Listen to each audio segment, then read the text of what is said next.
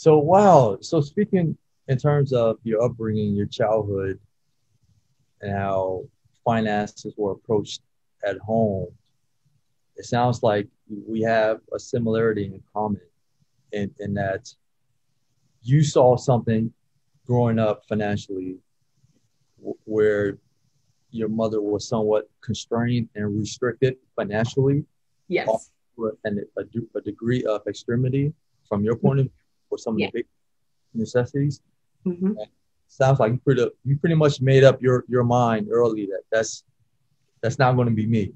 Uh, and similarly, I've had that experience when I was growing up, whereas it was more so of you know, as a kid, you can sense, you can see when there's financial struggle, when we have to pick up and move and go stay with a grandma here or, you know, things like that. And I can't always get uh, the new clothes that I need for school or whatever, you know, it's, it's, it's mm-hmm. evident. And I, I just saw a, a, a theme, a pattern of financial struggle for one reason or another. And I just, I had my mind made up early on that that's not it, going to be you. Buck's going to stop with me somehow, mm-hmm. some way. You know, mm-hmm. I had visions of becoming a businessman early on. You know, even though I, I grew up playing sports, I was always athletic, but I was never actually genuinely passionate about it. It may sound kind of strange, uh, but I always myself being a businessman. Yes.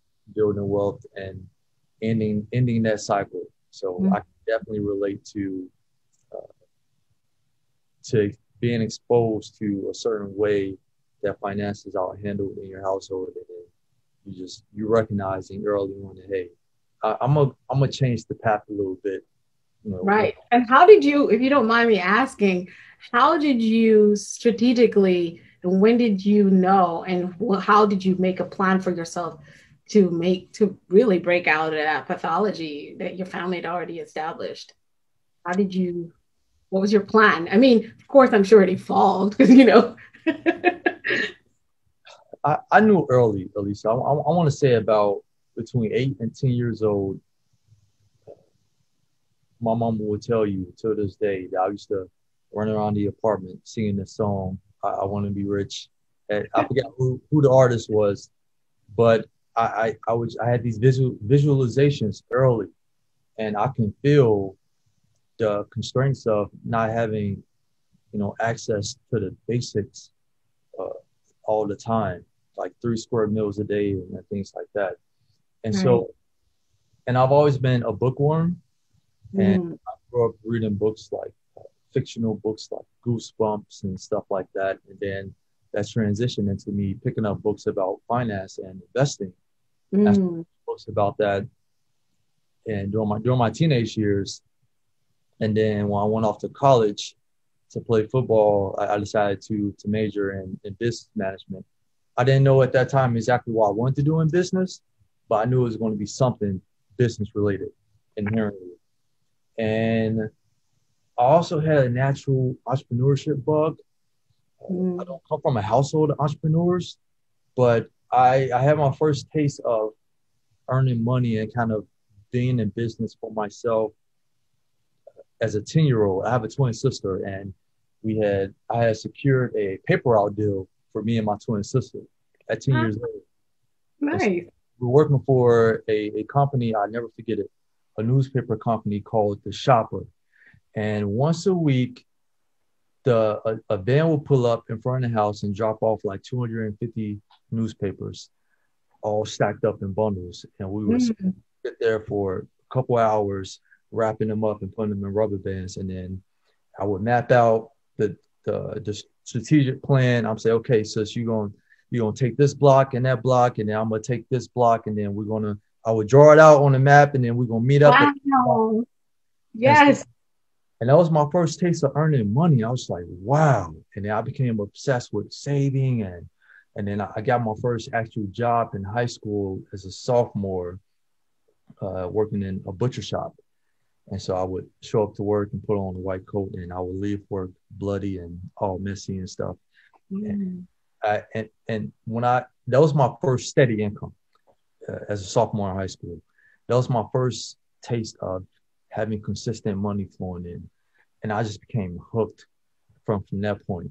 And so mm-hmm. I knew early that I wanted to, you know, become financially independent and learn about investing and, and things of that nature. And then somewhere along the way, in my latter years in college, a light bulb went off uh, in terms of the stock market and my interest in analy- analyzing businesses and how it works and how much wealth has been accumulated.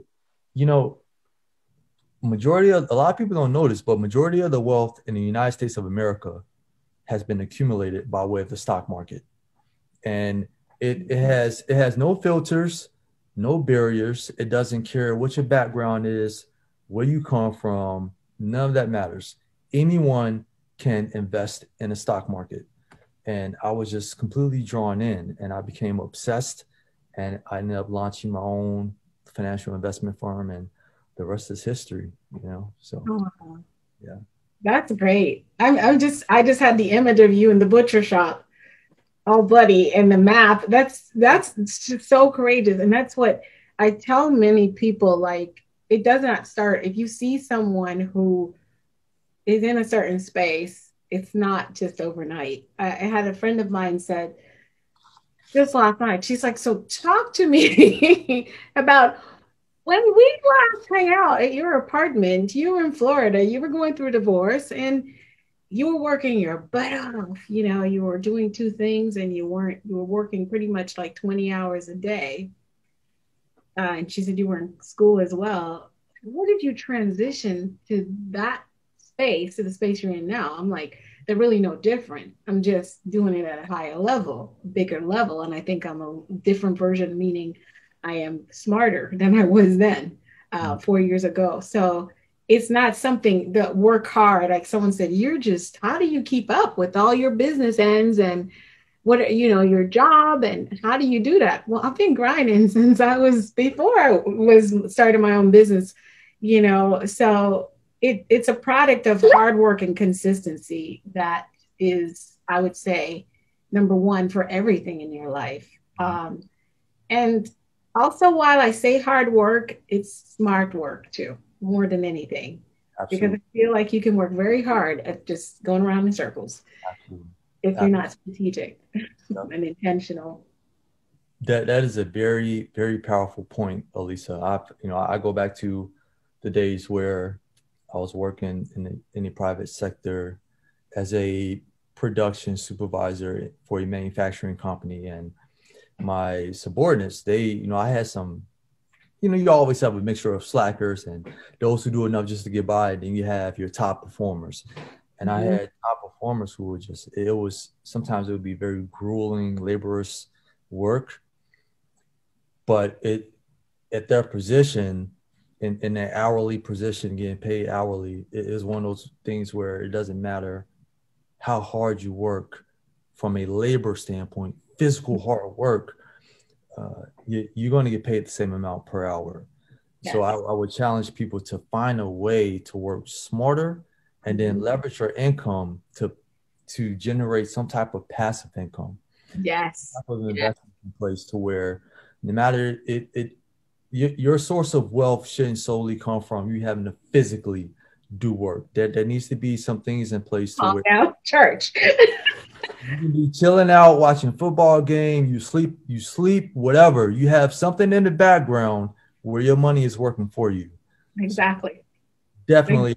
I'm over here smiling cheesy because that is the concept I've had because the nature of my job, speaking and coaching, you just hear that and you're like going in your head. If you picture me, you're thinking, I'm going to go from one client to the next.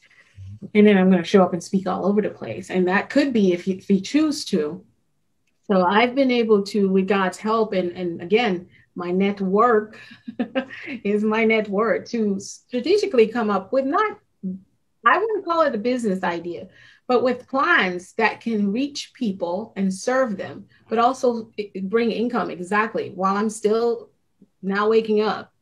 There's income coming in without me running and being a hundred seeing 100 clients a day to meet a goal of whatever finances I need to meet. So that is the, if anyone's listening, they should replay what you just said